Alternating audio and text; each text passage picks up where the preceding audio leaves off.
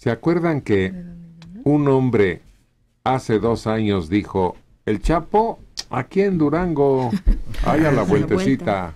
Héctor González. Pues miembros del crimen organizado circulan en camionetas en municipios de Zacatecas y Durango sin ser molestados por las autoridades, dijo Héctor González Martínez, arzobispo de Durango.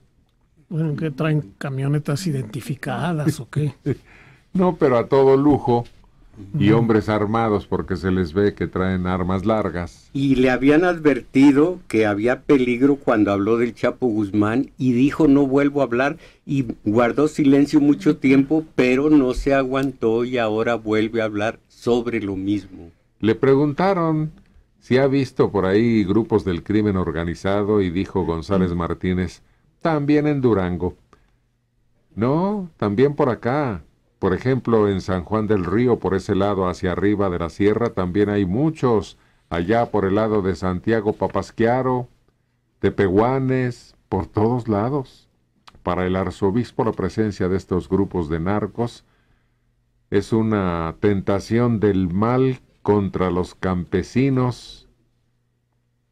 La gente de los pueblos es sana, buena, sin embargo llegan y les soplan al oído como Satanás, les ofrecen lana, se los llevan y así es como los convencen.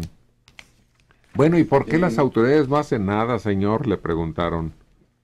Pues dice que es una posible complacencia o el temor a una venganza no hay ahí el factor económico, simplemente son buenos los campesinos, en paz viven, llegan y les soplan los malos. No es cuestión de la economía, que estén muy mal, que estén muy pobres y que les ofrezcan dinero. Es que, mira, eh, las ganancias son monstruosas. Por bien que ganes, por bien que te alimentes, por segura que tengas a tu familia pues ahí está la tentación. y el negarse implica un riesgo terrible. Sí.